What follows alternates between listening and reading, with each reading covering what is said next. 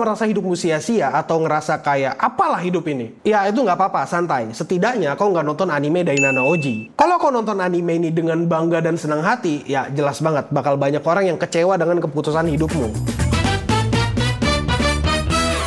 Jadi emang ada apa dengan anime Dainana Oji? Apakah animenya seburuk itu? Secara objektif, kalau dinilai dari segi animasi dan cerita buruk, ya tapi nggak buruk-buruk banget. Setidaknya nggak seburuk makan mie instan, tapi bumbunya diganti dengan batu bata yang warna coklat. Kenapa aku bisa ngomong kayak gitu? Pertama kita bahas ceritanya dulu. Menurutku cerita anime ini sangat-sangat simpel. Saking simpelnya kau nggak perlu otak buat nonton animenya. Maksudku kalau kau mau nonton, kau bener-bener tinggal nyalakan TV dan gugu gaga gitu. Kalau mau dipersimpel, cerita animenya gini. Jadi ada sebuah dunia yang di mana cuma bangsawan doang yang boleh mempelajari sihir. Tapi ada satu rakyat jelata yang belajar dan bisa sihir.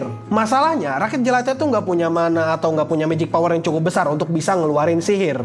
Dan yang bisa ngeluarkan sihir besar itu cuma keturunan kerajaan doang. Karena rakyat jelata yang belajar sihir ini dianggap melanggar, akhirnya orang ini atau si MC ini dieksekusi. Dan akhirnya setelah sekian tahun dia lahir lagi sebagai pangeran ketujuh. Wah gila, ini cerita yang sangat-sangat kreatif. Aku nggak pernah gitu ngelihat cerita di mana ada rakyat jelata gak punya privilege sebesar bangsawan.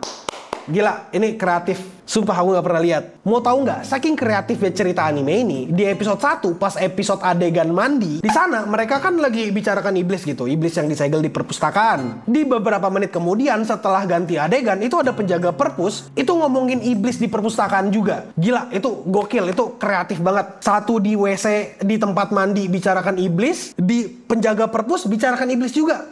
Gila, itu itu masterpiece banget. Dalam menit yang beda dikit dibicarakan dua kali.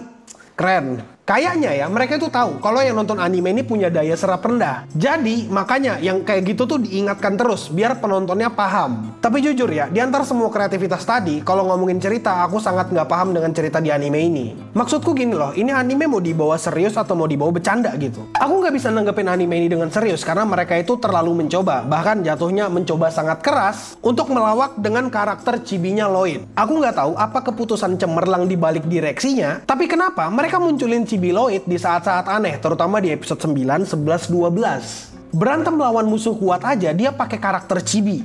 Di saat-saat krisis atau saat-saat genting atau saat apa pun itu, dia ngeluarkan karakter Cibi Pertanyaannya kenapa? Aku nggak tahu, aku nggak ngerti. Mereka nggak sempat bikin karakter yang normal kah? Atau emang mau bikin karakter itu jadi imut aja? Jujur, aku nggak tahu apa keputusan dibalik direksinya, tapi ya aneh gitu. Sekarang kita lanjut ke animasi. Kalau ngomongin animasi di anime Dynano Oji, menurutku sama aja kayak ngomongin konsep hak milik pribadi ke komunis. Atau sama aja kayak memadamkan kebakaran pakai bensin. Ya, nggak ada gunanya gitu. Betul, yang membuat anime menjadi bagus itu adalah karakter yang ekspresif. Tapi kalau bentuk ekspresif ya chibi, ya ya kurang banget nggak sih maksudnya cibinya gitu-gitu doang gitu loh dan selain itu entah kenapa karakter Lloyd ini terlalu feminim gitu kayak cewek banget ya tapi untungnya nggak semua desain cibi itu dipakai di adegan berantem ya tapi sabar dulu di samping itu semua aku cukup mengapresiasi mereka dalam scene berantem menurutku scene berantem mereka itu di episode 1 aja udah cukup bagus men apalagi kalau dilihat-lihat ini anime isekai gitu. Kan jarang banget ya ada anime isekai yang berantemnya bagus. Episode 10-nya juga waktu berantem itu bagus banget men. Apalagi highlightnya di situ adalah Silpa yang di mana dia itu cakep dan giat kalau untuk ngomongin animasi ya nggak semuanya bagus sih, tapi ya setidaknya nggak buruk-buruk amat gitu. Tapi jujur ya, meskipun kayaknya aku ngomongin negatif-negatif ya anime ini, tapi sebenarnya aku suka banget sama anime ini. Bahkan menurutku anime ini cukup wajib untuk ditonton kalau aku suka banget sama isekai. Yang bikin aku bilang anime ini cukup bagus atau cukup layak untuk ditonton adalah pacingnya. Sumpah demi apa pun, pacing anime ini tuh bagus banget. Karena menurutku anime ini cukup berhasil untuk bikin orang penasaran bagaimana cara Lloyd mengalahkan musuhnya. Selain itu, aku juga cukup penasaran dengan kejutan sihir apa lagi yang bakal Lloyd bawa atau kemampuan apa lagi yang bakal Lloyd ciptakan gitu. Apa yang dia bikin supaya teman-teman di sekitarnya itu kaget sama kemampuannya dia. Anime ini bukan yang terbaik tapi menurutku ya cukup enjoyable. Toh aku nonton sampai habis. Dan entah kenapa ya aku yakin banyak orang yang suka sama animenya. Intinya ya aku nggak menghina anime ini. Aku cuma ngasih tahu apa yang ku suka dan gak ku suka dari anime ini semoga kalian paham dengan video ini dan gak komentar kayak orang ini.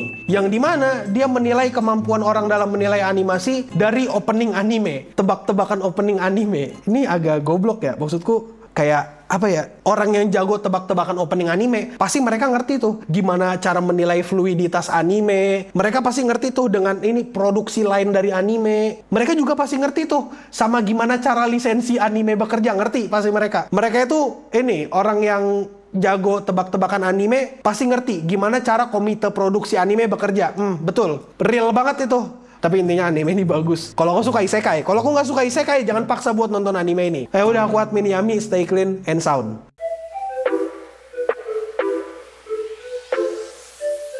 Tapi dengarkan sekali lagi ya, aku yakin apa yang gak kusuka dari anime ini, mungkin kalian gak peduli dengan apa yang gak kusuka. Tapi yang aku yakin adalah, apa yang kita suka dari anime ini, kemungkinan besar sama. Kita suka dengan bagaimana karakternya Lloyd, atau bahkan seberapa giatnya Silva. Ya kayak gitu. Aku gak tahu mau di komentar bagaimana, tapi kalau dinilai-nilai anime ini ya emang gak sebagus itu. Cuma apakah enjoyable? Ya enjoyable. Tapi intinya tebak-tebakan opening yuk.